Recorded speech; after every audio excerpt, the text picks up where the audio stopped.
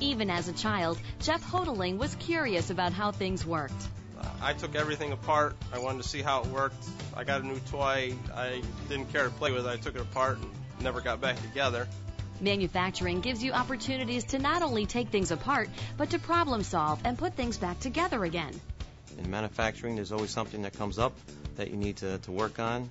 Uh, each each day, there's a new challenge. Just the the sense of how machines work, how you can make it better, how you can make things easier, how you can make things faster. It definitely puts a puts a sense of pride into yourself.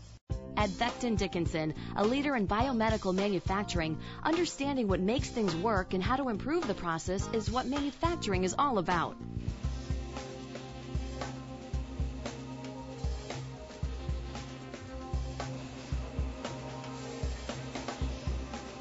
We manufacture 42 million syringes a week, which is just over 2 billion a year. There's over 25,000 associates worldwide uh, over 50 production facilities. We work in a very clean environment. We make medical devices that help save uh, people's lives.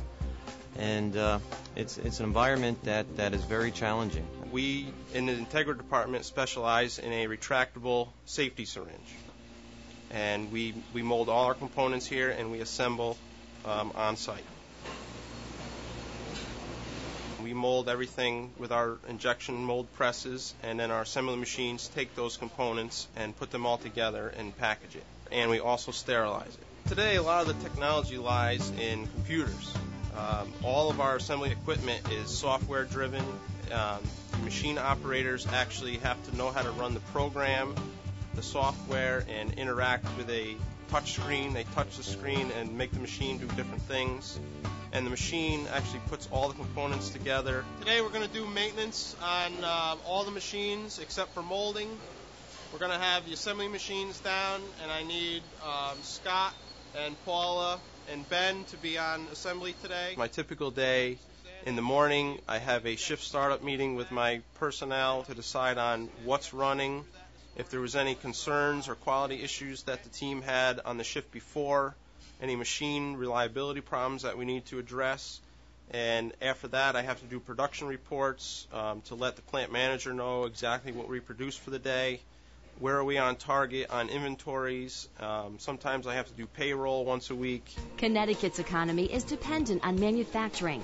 In fact, in today's new manufacturing, companies are looking for highly skilled technical workers. We do have a shortage of higher technical uh, skills uh, in, in our area.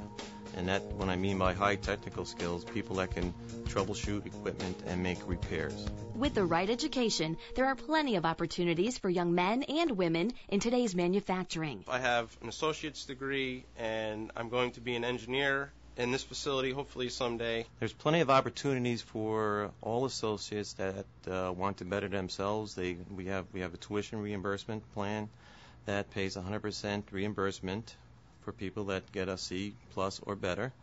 Uh, we have in-house training programs that are available to all associates. Uh, we also have team-based uh, training. The benefits are excellent. The most important thing for me, obviously, is to come to work in a safe, healthy environment, to be able to go home to my family and provide for them Biotechnology manufacturing could be just what you're looking for the opportunity to create a bright future for yourself while making a good living.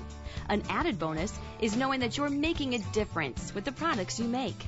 When I come to work, not only do I get a sense of pride in trying to learn or strive to make the machines better, but I know that the, the product that's coming off the line, going in the package, and going out the back door is going to go to a hospital, to somebody sick, or somebody that needs something as far as medication goes and that I'm contributing to helping that person live a better life